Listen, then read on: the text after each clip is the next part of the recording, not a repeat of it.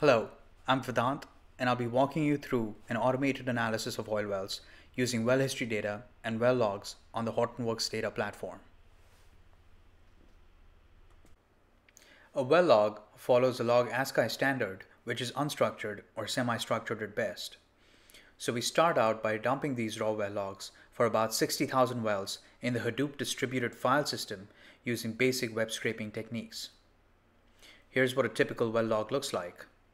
It contains two basic blocks of information, the metadata around the log, such as the different sensors it contains, the depth information, and other data around the field and casing.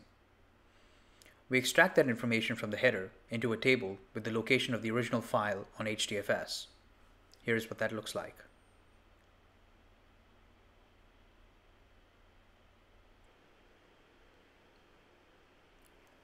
It also contains the sensor mnemonics and their units of measurement partitioned by the well ID.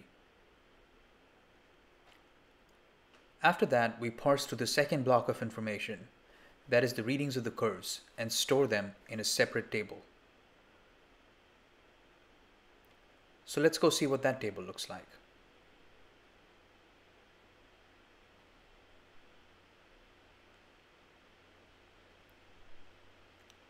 This table contains the depth information, the sensors capturing event bits at a spacing of 5 feet, along with the actual readings of the individual mnemonics themselves.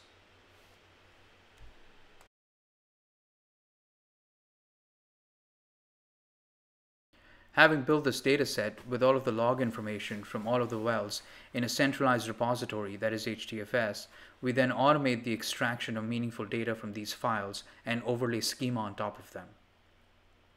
This approach allows us to make the data queryable, which means that we can use ANSI SQL to look for interesting patterns in the data.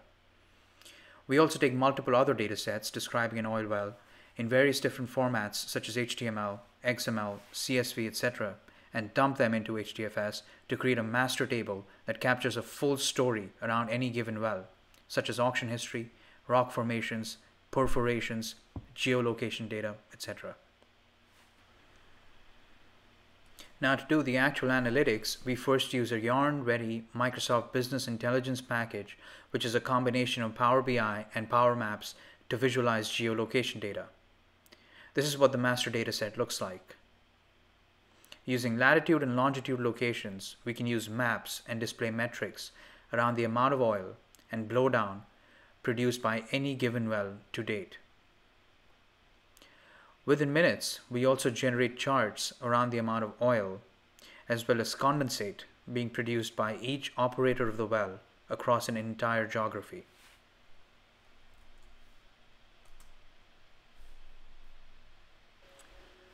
Now we come to the part of working with the actual log data itself.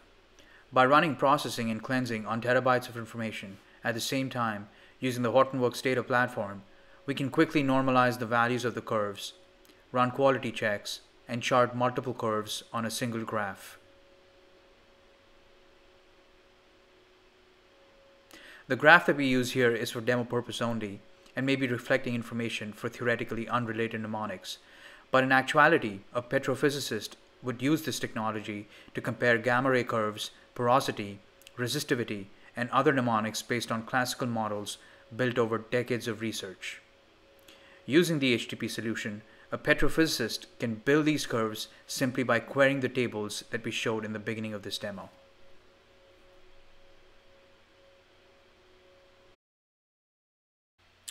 We also use other Yarn-ready applications such as Tableau to quickly query the data by working with visualizations, but letting Hadoop APIs do the actual interpretation and processing before returning the results back to the application. So let's sort and bucket wells by enhanced oil recovery measures and borehole type.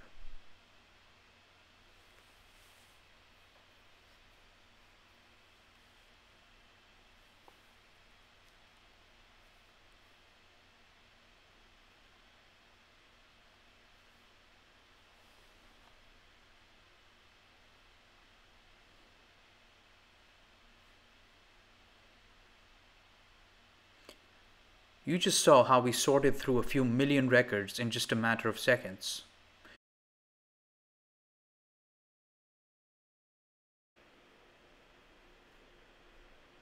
And to wrap up, let's see an animation of enhanced oil recovery data on all of the wells since the year 2000.